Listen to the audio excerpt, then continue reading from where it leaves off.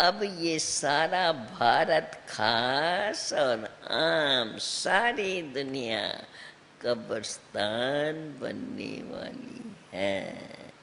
तो पहले से ही तुम समझ लो ना, ये सब मरे परे है। अभी तो हमें वैकुंठ जाना है, इसलिए हमें वैकुंठ में जाने का पुरुषार्थ करना चाहिए। बाबा कहते हैं, बच्चे समझते हैं, अब बाप दादा आए हैं, शिव बाबा ब्रह्मा के रथ में आकर के रथी बनते हैं। ऐसे नहीं कृष्ण को ये अर्जुन का रथी बना है, वो तो स्थूल रथ और वो सब दिखाते हैं। नहीं, अभी तो परम पिता परमात्मा इस ब्रह्मा के रथ पर बैठ करके तुमको ये सारी बातें समझा रहे हैं। वैसे बाबा तो बहुत बिज़ी रहते हैं। फिर भी कहते हैं, मैं अभी आया हूँ इस पतित दुनिया को पावन बनाने के लिए। तो देखो मुझे कितने रूप धारण करते बढ़ते हैं। क्योंकि बिज़ी रहता है, कोई साक्षात किसको, किसका साक्षात्कार, किसको किसका साक्षात्कार। हर एक भगत अपने अपने रीति से करते हैं। जो नौदा भक्ति करते हैं तो उनको तो मुझे साक्षात्कार कराना ही पड़े। तो मैं कितने रूप धारण करता हूँ? बहुतों की जोगती जगाता हूँ। इसलिए बाप कहते हैं, बच्चे, मेरे से योग लगाओ। ये पेट्रोल डालो। कौन सा पेट्रोल? ज्ञान का पेट्रोल डालो, जो बाबा हमें समझाते रहते हैं। दीवा बुझ जाता है तो घड़ी घड़ी गिरत डालते हैं ना तो बाबा कहते हैं, अब पूरा पूरा योग मेरे साथ लगाओ ये तो जानते हो। बाप, इस ब्रह्मा के तन से हमको पढ़ाने आया है। भगवानों बच्चे भगवान क्या कहते हैं? बस भगवान कितनी सहज बात कहते हैं। सीधी सीधी बच्चे, मुझे याद करो। देखते हो, मौत तुम्हारे सामने सिर पर खड़ा है। छोटे बड़े सबका मौत होना ही है, क्योंकि ये है ही मृत्यु लोक। मैं तो आया हूँ अमर लोक से। अमरनाथ बाप तुम्हारे पास आया है। अमर कथा सुनाने। अमर कथा सुन करके तुम भी अमर बन जाएँगे। तुम हो पार्वतियाँ अथवा सीताएँ। अब तो सब रावण के जेल में पड़े हुए हो, शोक वाटका में पड़े हो। बाप आकर के तुमको अशोक वाटका में ले जाते हैं। वहाँ कोई शोक रहता ही नहीं।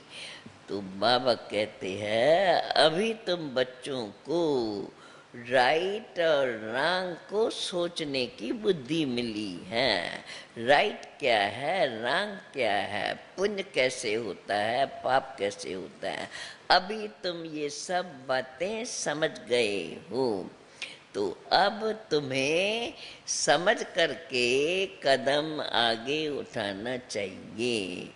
अगर बाप से योग टूटा तो माया पाप करा ही देंगी, ये निश्चित जानो। क्योंकि इस समय तो सर्वत्र माया तमो प्रधान है।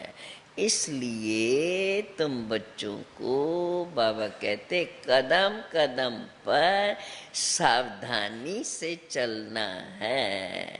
श्रीमत पर चलने में कोई नुकसान नहीं है। मनुष्य तो बेचारे भगवान को पहचानते नहीं है। अभी तुम्हें तो बाप कहते हैं, बच्चे, मैं आया हूँ खास तुम्हें ये शिक्षा देने के लिए, बाबा कहते हैं, तुम मेरे बच्चे, मुझे तो प्राणों से भी प्यारे हो। जानता हूँ मैं, देखो बाप को कितना प्यार है हम बच्चों के लिए और कितना रहम है हमारे पर। जानता हूँ मैं, क्या बाबा जानते हैं? कि तुम बच्चे अभी बहुत दुखी हुए हो। अब मैं तुमको आया हूँ सुखों की दुनिया में ले चलने के लिए। बच्चों में कोई सगे होते हैं, सगे अर्थात सौतेले तो बाप तो तुम्हें सगे और लगे का अर्थ समझा रहे हैं। अब सगे बच्चों पर बाबा का ध्यान तो रहेगा ना। सगे राजाई का वर्षा लेंगे। सगे कौन? जो बाप पर बलिहार जाते हैं। लगे तो प्रजा का वर्षा लेंगे। क्योंकि इतनी सारी डीटी किंगडम बननी है। अभी तुम तुम बच्चे जो बाप के सन्मुख आए हो और बाप से सुन कर के अपना पुरुषारत कर रहे हो, बाबा कहते हैं, तुम बच्चे तो अब राजा ही पाने के लिए पुरुषारत कर रहे हो। प्रजा तो आगे आती रहेंगी तो राजा ही पाने के लिए पुरुषारत पुरुषारथियों को पहले पहले किस बात का ध्यान रखना है? पहले पहले मुख्य बात है पवित्रता की। अगर विकार का विकल्प आया तो क्या करो? बाबा कहते हैं, देखो रहम दिल बाप, अगर संकल्प आया भी, विकल्प आया भी, परंतु कर्म इंद्रियों से कर्म में नहीं आओ अगर क्रोध आया तो मुख से गुस्सा नहीं करना चाहिए। अगर तुम्हारे में भूत होगा तो फिर लक्ष्मी से को कैसे वरेंगे? जिनमें पाँच विकार हैं, उनको तो बंदर कहा जाता है।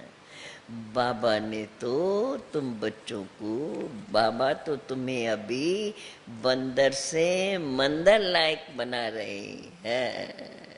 तो वो है ना, बुरा न बोलो, बुरा ना सुनो, बुरा ना देखो, ये वो बंदरों का खिलौना बना हुआ है। तो बाबा बता रहे हैं कि मैंने अभी वो जो बंदरों का खिलौना बनाया हुआ है, मैंने इस बच्ची, नलनी बच्ची का वो बनाया है। आप लोगों ने देखा होगा, ये बहुत पुरानी बात है। बीच में भी ये मुरली चली थी तो दिखाया गया था। नई नई, नलनी बहना जो नई नई आई थी ना तो जैसे जैसे थोड़ा सुनती जाती थी, बाबा का अच्छा लगता था तो बाबा समझता था कि ये लग जाए इसमें। तो उसी में, उस समय में ये बातें चलती थी। तो उसे बाबा ने अपने सामने, वहाँ रहे, बाबा उस समय में वाटरलू मेंशन के सामने थे। और अपने ही सामने फोटोग्राफर के पास बेच करके, और फिर वहाँ हम थी, और मैं समझती हूँ दादा आनंद किशोर थे। वो उसको लेके गए थे निकालने के लिए। तो बाबा बता रहे हैं कि नलनी बच्ची का फ़ोटो डाला है, इसमें talk no evil hear no evil and see no evil उस बच्ची को लौकिक बाप ने सेंटर खोल करके दिया है।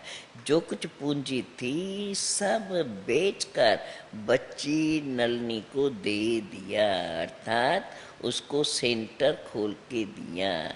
जैसे बाप ने सब माताओं को दे दिया, वैसे काकू भाई ने भी अपनी बच्ची को दे दिया। समझा? ये भी कन्या है। क्यों न इनसे शुभ कार्य कराऊं? बच्ची ने कहा, मैं शादी नहीं करूँगी। भल, ये सब पैसा इस कार्य में लगा दो। मैं पतित दुनिया को पावन बनाने की सेवा करूँगी। भल भल काकूबाई को बच्चे भी थे, परंतु वारिस बच्ची को बना दिया। उनका कितना ऊंच पद हो जाएगा, बहुत ऊँचा पद पाएँगे।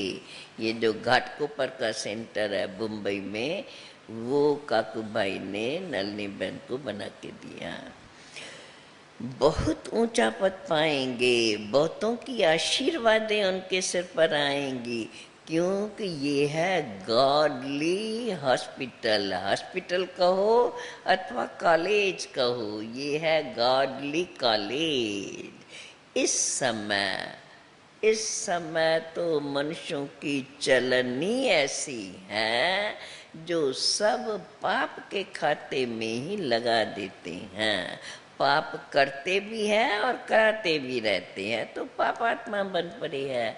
अभी बाबा कहते हैं, बच्चे, मेहनत करो, तुम्हारे सिर पर पाप का बोझा बहुत है।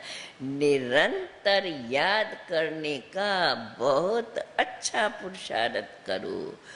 जब अभी से पुरुषार्थ करेंगे तो अंत में वो अवस्था बन जाएँगी। देखो, सन्यासी भी कई अच्छे तपस्वी होते हैं बैठे बैठे शरीर छोड़ देते हैं कि हम अभी जाकर के ब्रह्म में लीन होते हैं। बस, ऐसे समझते हैं, ऐसा कह शरीर छोड़ देते हैं। ऐसे भी कई होते हैं। फिर उस समय बहुत सन्नाटा छा जाता है। ये बाबा, ब्रह्मा बाबा अपने अनुभव की बात सुनाते हैं। वो वायुमंडल फिर हो जाता है ना, सनाटे का तो वो बाबा अपना सुना रहे हैं। अच्छा अभी बाप कहते हैं, तुम बच्चे हो कौन? कितना ऊँचा टाइटल तुम बच्चे हो, सुन रही हो कुमारिया? कितना बाबा ऊँचा टाइटल दे रहे हैं। बनाओ लायक अपने को ऐसा। बाबा कहते हैं, तुम बच्चे हो, सृष्टि के पापात्माओं को पुण्यात्मा बनाने वाली सच्ची सच्ची ज्ञान गंगाएँ। है कुमारियाँ, सच्ची सच्ची बनेंगी ज्ञान गंगाएँ? या पढ़ाई करेंगी, नौकरी करेंगी और सेवा करेंगी। जितनी हो सकेंगी उतनी करेंगी, जितने उतनी का हिसाब नहीं रखना है। अपनी अपनी जीवन सेवा में देनी है। बाप कहते हैं, तुम बच्चे हो, सृष्टि के पापात्माओं को पुण्य आत्मा बनाने वाली सच्ची ज्ञान गंगाएँ गंगा के किनारे पर देवताओं के मन, देवताओं का मंदिर, देवियों का मंदिर होता है, दिखाते हैं। नाम रखा है गंगा। अब पानी की नंदी तो पतित पावन हो नहीं सकती। न देवताएँ पतित पावन है, जिन देवताओं की पूजा करते हैं, वो समझते हैं, ये देवताओं ही पतित पावन है, पतितों को पावन करने वाले वो देवताएँ पावन है। पतित पावन नहीं है, उनको पतितपन का पता ही नहीं है। बाबा कहते हैं, वो समझते हैं कि ये देवताएँ पतित पावन है। न देवताएँ पतित पावन है, न पानी की नंदी पतित पावनी है। पतित पावन तो कौन है? कौन है पतित पावन? बोलो बड़ी आवाज़ से। पतित पावन, बाबा कहते तुम ब्राह्मण हो। उन्होंने ही, उन्होंने तो गंगा पर देवियों के चित्र रख दिए हैं। देवताएँ तो पतित को पावन बनाते ही नहीं, वो है ही देवता तो बनाए किसको? दुनिया ही देवताओं की है। मनुष्यों को तो अभी ये ज्ञान है ही नहीं। कहा वो पानी की नंदी, कहा ये देवताएँ? इस समय तुम ज्ञान गंगाओं से ज्ञान स्नान करते हैं, तब ही वो देवता बन जाते हैं। तो तुम बच्चों की अब सेवा है कौन सी? मनुष्य को देवता बनाने की। यहाँ तो आत्मा को पवित्र बनाया जाता है इस ज्ञान से। बाबा के इस ज्ञान से आत्मा पवित्र बन जाती है।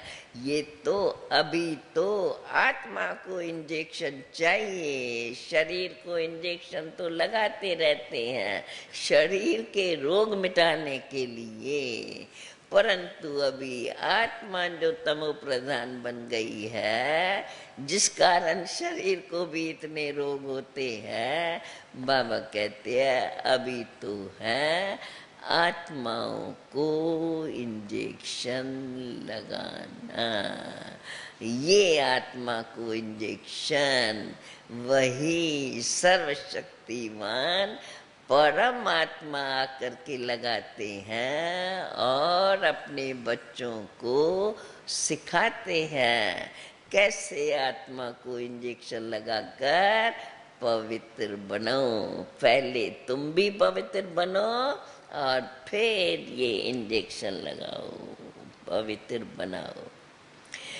तो बाप आकर के ज्ञान और योग का इंजेक्शन देते हैं। पाँच हज़ार वर्ष पहले भी बाप ने ये ज्ञान और योग सिखाया था, जिसको भक्ति मार्ग वाले प्राचीन गीता का ज्ञान और योग कहते हैं।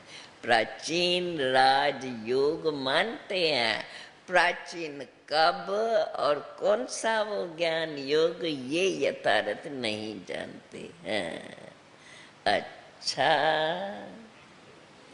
मीठे मीठे सिकिल दे बच्चों प्रेत।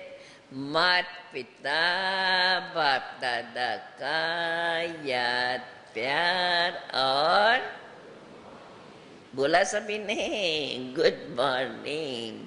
रूहानी बाप की, रूहानी बच्चों को नमस्ते।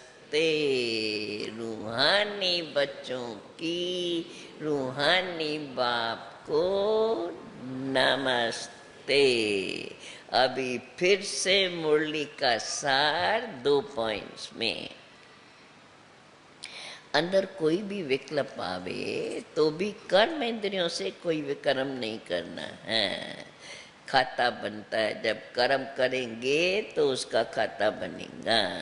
राजाई पाने के लिए पवित्रता की प्रतिज्ञा ज़रूर करनी है।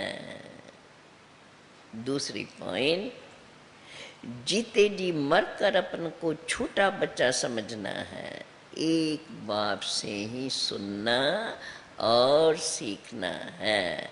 बाकी सब कुछ भूल जाना है। ये है मुरली का धारणा युक्त सार, जिसको हम मनन करते हुए अपनी धारणाएँ मज़बूत करते रहें। आज का वरदान निश्चय बुद्धि बनकर, कल का वरदान याद है? जिसको कल का वरदान याद है, हाथ उठाओ। कल के वरदान पर अटेंशन खिंचवाया था। क्या थी विशेष बात? हाँ? आप लोगों ने रिपीट किया होगा, इसलिए कुमारियों को याद है। चलो भाई, ये सुन, सुनते फिर कल का भी याद आएगा। क्योंकि जैसे कल का वरदान, जिस बात पर बाबा ने ध्यान खिंचवाया है, आज वो वरदान है।